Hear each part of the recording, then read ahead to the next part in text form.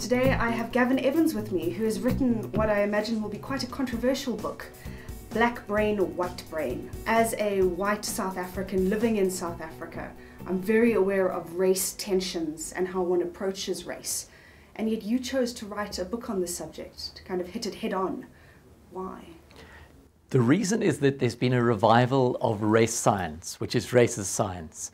Um, it, it, seems to come in waves. I mean, there was a big wave in 1969 um, when a man called Arthur Jensen put out a paper in the uh, Harvard Educational Review that, based, that, that said that um, black people were inherently less intelligent than white people. Then the next wave came with the bell curve in uh, 1995, um, 1994, and the bell curve um, also drew from Arthur Jensen and was arguing the same kind of thing. So that the reason that there are uh, poor people are poor because they're unintelligent, and the reason that there are more poor black people is because they is because they have lower IQ and IQ is innate.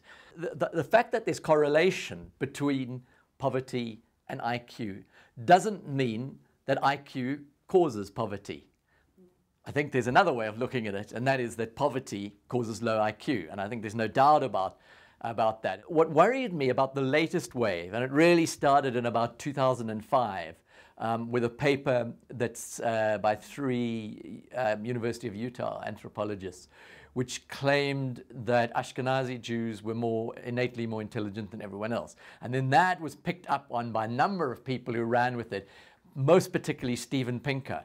So the result of that was that because Pinker's Jewish and because he's the doyen of evolutionary psychologists, people thought it was okay. So there wasn't any reaction um, to that. And that's taken, and then there were a number of other people who, you know, came out of the woodwork with similar kinds of claims. Um, and also claims about Africans, sub-Saharan Africans being less intelligent and so on. So there was a, a spate of race science getting very little response. And the, the most recent um, and perhaps the most insidious uh, expression of that was a book called A Troublesome Inheritance by a man called Nicholas Wade. And in his book, he says that Africans have evolved to be um, over-trusting, not too bright tribalists, that um, the Finns have evolved to be violent drunks, that the um, Chinese had evolved to be authoritarian, um, that the English had evolved um, to be enterprising. I mean, speaking to you now, I can hear in your voice the tone throughout your book, which is one of reined in anger and frustration of telling people stuff that you think that they that they should have drawn those conclusions.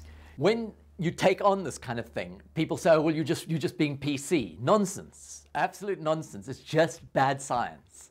Um, it's bad science, it's bad politics as well. And that's kind of what, what makes me, you know, makes me angry about it. It's because it's the kind of thing that we were hearing in apartheid South Africa from the education system, the Christian national education and so on. You are hugely derogatory of, or yes, right word, of, of the concept of IQ as a testing mechanism for intelligence? Intelligence, I think, is an amorphous concept. I mean, we have a number of different forms of intelligence. What IQ measures is your ability to cope with abstract logic. And I would prefer to see um, aptitude testing involving a whole range of aptitudes. So artistic, um, emotional, abstract, and so on. Um, rather than, than having the single number for this general intelligence, which I don't believe exists. There does seem in, in the reading of your book to be a value attached to that rising IQ. So that there is, is greater value in having a I, higher IQ than having a lower IQ. Mm.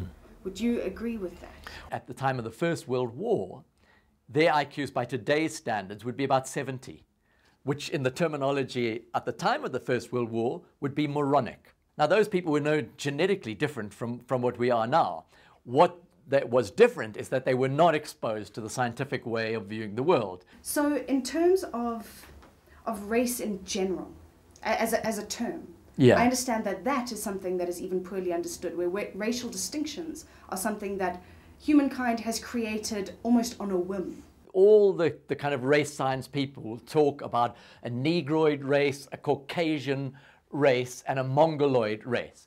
Now, those are not scientific distinctions at all what they defined on is very superficial characteristics. And even if you, you you, you start prodding those superficial characteristics, you find that they're not universal. So that, you know, um, among um, people who are Negro for African origin, um, you get people with light skins like the San people, you get um, people with dark skins like Nigerians, you get people with wide noses, narrow noses, and a range of different colors of hair. If you look at the Caucasians, um, you've got dark skinned Indians um, and sort of blue skinned Scots. Um, uh, uh, you know, right throughout. I mean, uh, it, it, so, so even on the superficial characteristics, those races don't apply. But much more important is that is that race in terms of genetics, the differences between um, the the uh, races are, are minuscule, and the differences within those race groups are huge. What is the difference between race science and science? Race science is not scientific. Um, or it's bad science. I mean, it's reaching wrong conclusions in a number of um, areas, both in terms of uh, of genetics um, and in terms of uh, what IQ means. Psychology is not a science, sociology is not a science. They're doing different things from what science does. So if we look at psychology, it's dealing with the mind. A mind doesn't exist without an environment. And environments are tricky things. They're not like measuring um, quarks or the double helix of DNA. So I have a more restricted uh, idea of what science is.